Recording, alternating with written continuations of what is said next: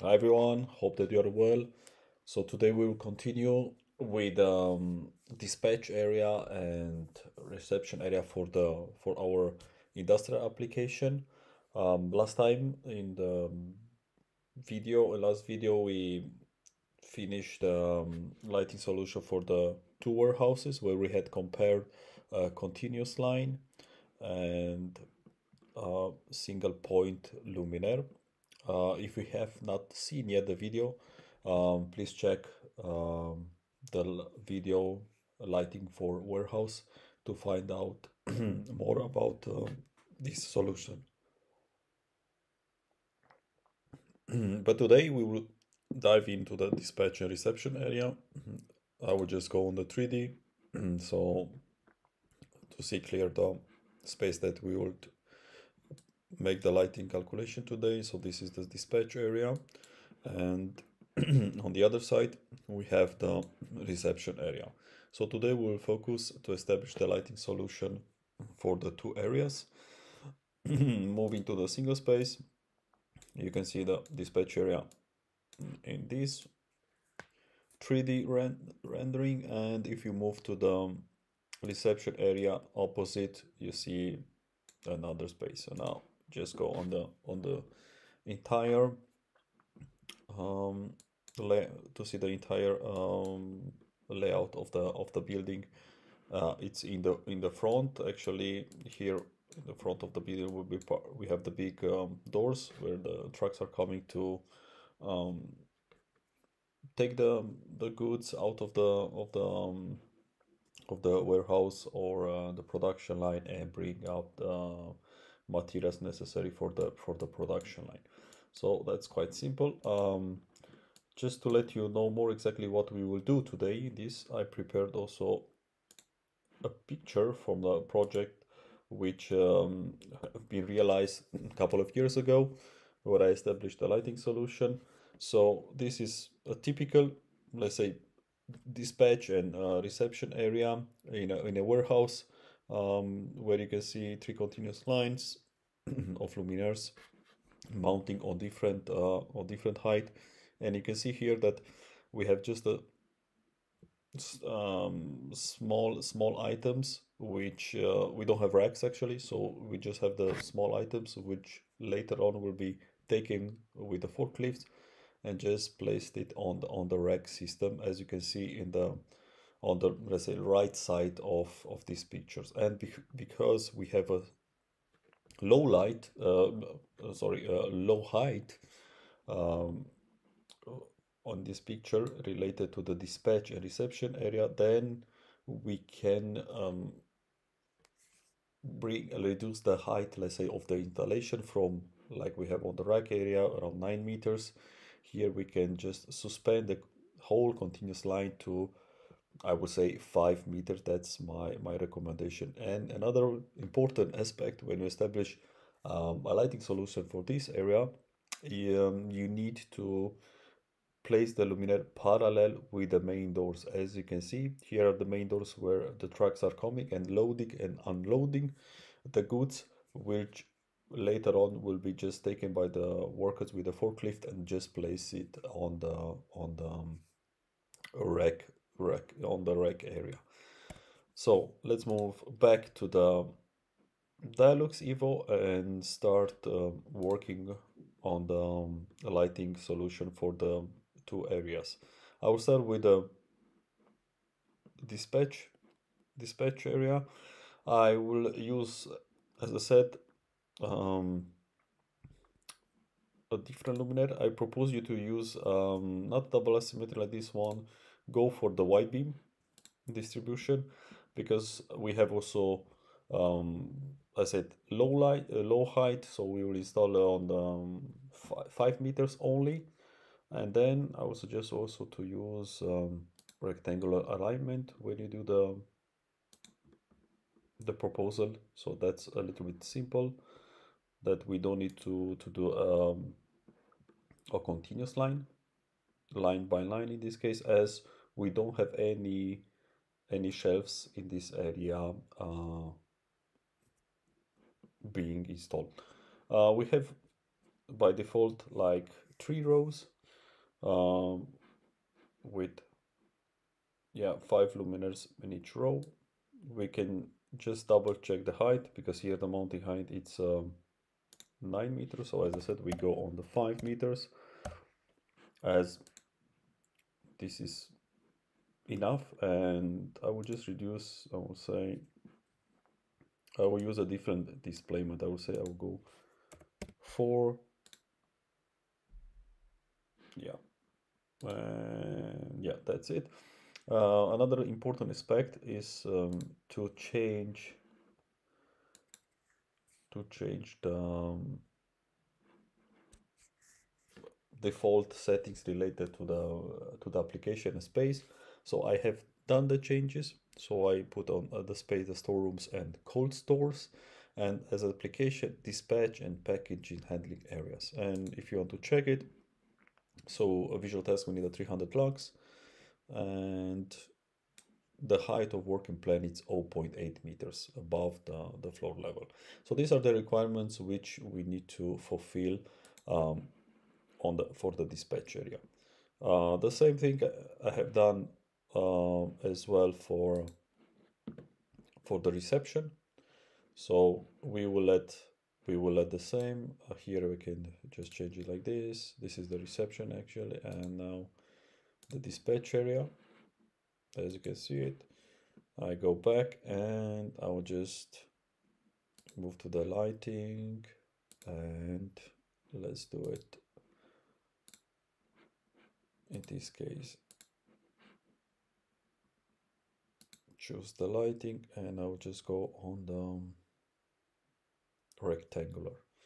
So here I say because we have these offices in the place we choose a polygonal arrangement. Because we need to have that we don't have a yes as a, a perfect rectangular shape for um, dispatch area. And then you can just choose the polygonal arrangement I will say you can just go on the the corners of the of the room when you do the lighting proposal and then you just need to yeah close it in this case. And now we'll have the proposal from Dialux. So again, we have three rows. Um, I'll say we let it as it as it is, and we just need to change the mounting height to, to three meters. I have done already the definition, uh, the space related and application, I use the same dispatch and package handling areas as for the previous um, space. So now we are ready to, to do the calculation. I will just go for a continue calculation um, to be faster. Uh, and yeah, being, uh, I will call it quite a big project, having a lot of luminaires inside. I will not start um, all over to the calculation, but just um, continue the calculation to, to get some time, to gain some time. And let's see the, the outcome of the, of the result. As mentioned previously, it's important to uh, install the luminaires parallel with the main doors. Uh, where the trucks are coming, just unload um, and unload the, um, the goods um, actually, dispatch area or reception area is just a transit. So from here, the goods are just moved uh, to the um, to the production plan, uh, production line in the, in our case, or um, to the the two warehouses. So that's the the goods will not stay more than a couple of hours in that area. Good. So let's see the results. Um, we have a lot of uh, rooms inside of this uh, calculation I will just go on the dispatch area so first one we have a 284 so we're below the 300 requested so here we need to to add more luminaires definitely and if you would move on to the next one you see we're 294 very close but still not enough. So seeing these results then we just jump into the next. And I will say if I put another row then and it will add more cost to to to the whole installation let's say. But if we have already the lines there I will just add um, luminaire into that light and here I will just use it um, let's see if we can add another luminaire here. I think it's not possible. And I will just add then four I'll put five. Just a sec. I think it was not taken in account. Yeah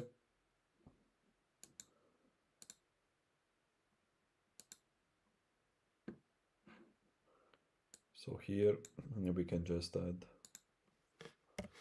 a fifth luminaire. Yeah so now now we are good to go. Um, let's redo the calculation but in this case we should be okay most probably. And another important thing it's um, which light distribution curve um, I recommend to, to use for these areas I would say go at minimum with a wide beam or if you have also available for your product use a very wide beam.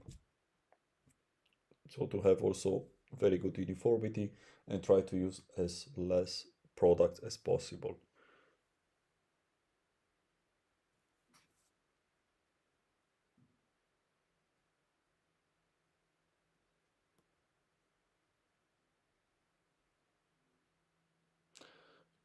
just another aspect i will just jump to the picture the previous picture. So you can do also different level of height installation. As you see here when you're close to the um, rack areas you can lift a little bit um, the height like two meters to to facilitate the forklift to enter to the rack areas.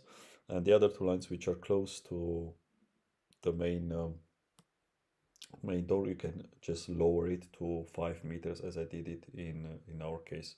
Of course on the row close to the uh, main doors we have also a different height of the ceiling so there it's a must that you cannot um, have a higher installation of uh, of 5 meters. But just remember you can use also for the dispatch area and reception area different heights upon of um, yeah, customer require, requirement or safety reason to not uh, hit the lighting um, system uh, by by the workers which are taking the, the pallets from the dispatch area with a forklift and place it on the on the rack area.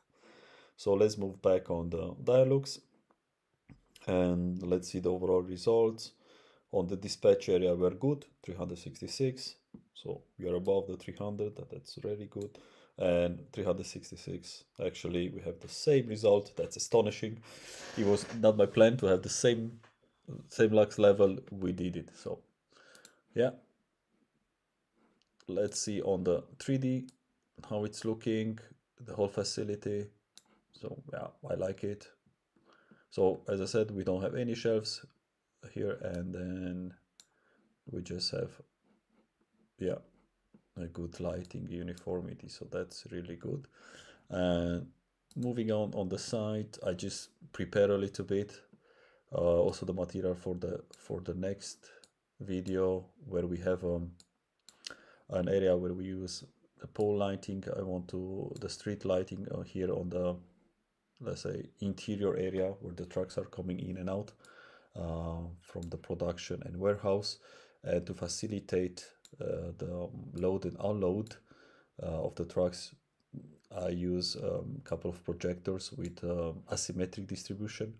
Um, it's very important that the drivers can park correctly or uh, on the on the ramp area or the access area on the main on the main door and just facilitate the load and unloading of the of the goods inside of the of the factory but more details uh, about the light level, which luminaire I have been used for outdoor lighting, I will come back to in the next video.